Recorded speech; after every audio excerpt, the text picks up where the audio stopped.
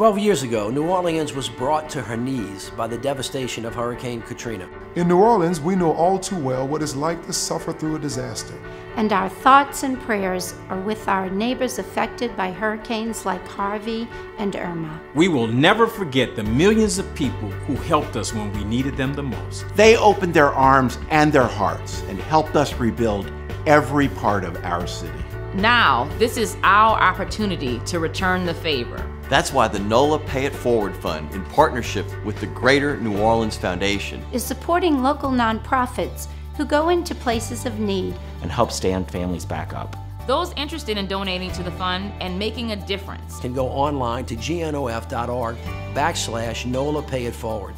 Let's come together and pay it forward. It's our turn.